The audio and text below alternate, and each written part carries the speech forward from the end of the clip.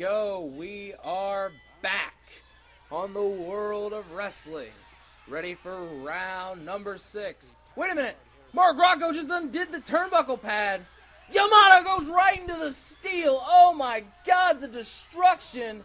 Rollerball Rocco here in the beginning of round number six, trying to get the best he can of flying Fuji Yamada. This is just ridiculous. Rollerball Rocco trying to take any advantage in the book. Look at this. Now he's working over the back. The back that went into the steel with the overhead Canadian backbreaker. But Look at this. Yamada works his way out. Oh, Rocco with the clothesline. Rollerball Rocco with the illegal tactic, bringing down the turnbuckle pad and ramming Yamada into it in the beginning here of the sixth round. Crossbody by Flying Fuji Yamada into the cover. One, no. Rocco gets out of it. Rocco gets shot off, but he boots him in the. Look at this beautiful butterfly suplex into the cover. One, two, three, and that will do it. Rollerball Rocco evens it up. One to one. Rollerball getting the advantage by bringing down that turnbuckle pad.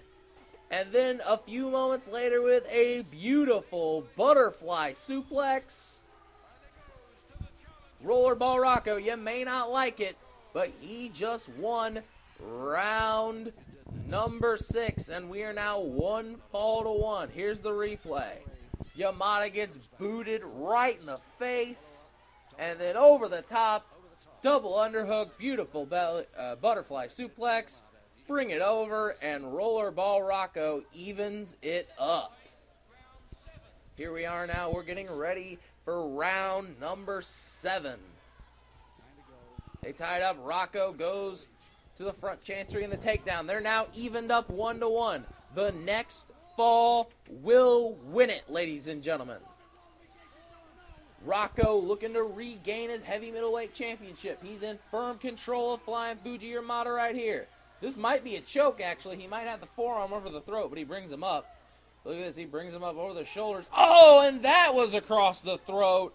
The hot shot like maneuver from Rollerball Rocco. Yamada dropped throat first. Ah. Rollerball will go to any length to regain his heavy middleweight championship. But here comes Yamada. Yamada gets control back.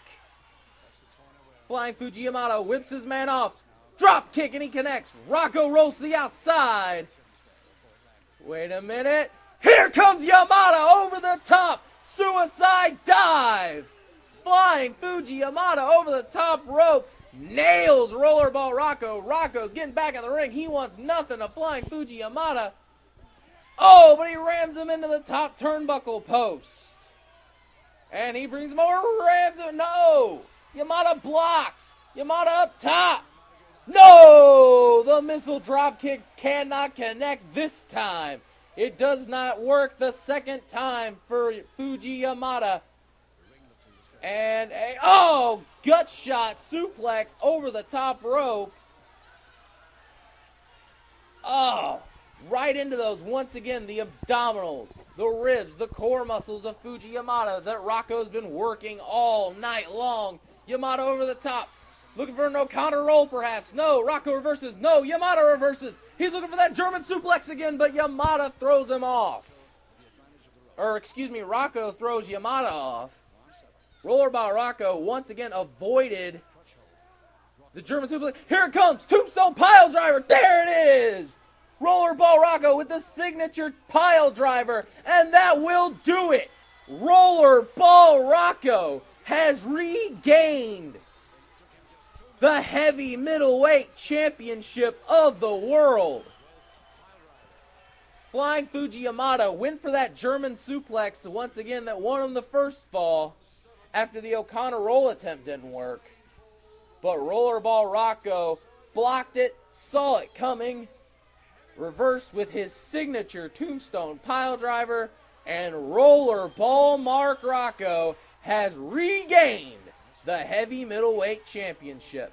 That's going to do it for us here at the World of Wrestling. I'm Bernie Summers. Thank you for joining us. We'll see you next time in the World of wrestling. Thank you for watching the World of Wrestling. Next time for even more wrestling action. World of Wrestling is a maintaining kayfabe production filming in front of a live studio.